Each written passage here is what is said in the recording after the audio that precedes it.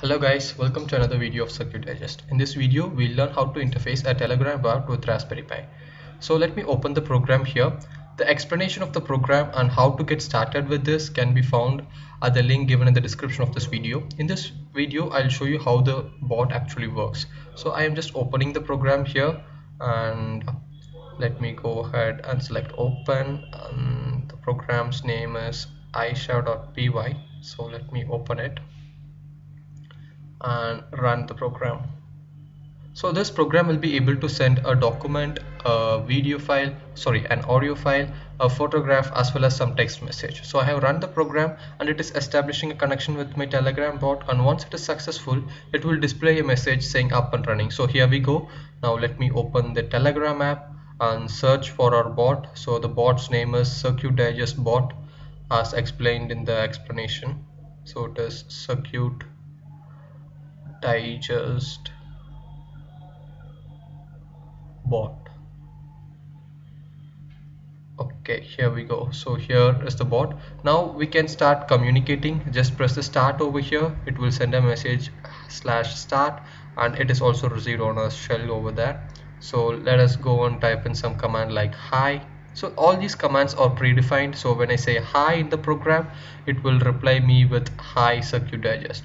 So here we get the reply as hi circuit digest and also we have received the command hi over there. So whatever I send from here will be received by the python script and if I have predefined it I'll get a reply. So for example if I send time it will give back the time. So currently the time is 1324 um, in the Raspberry Pi so it's the time that's being running on the Raspberry Pi. So now let's check for another command like logo so when I send logo it will download this image from the internet and send it to my telegram. I can just download it here and open it. As the logo of circuit digest similarly you can send any image based on the command that you're requesting for.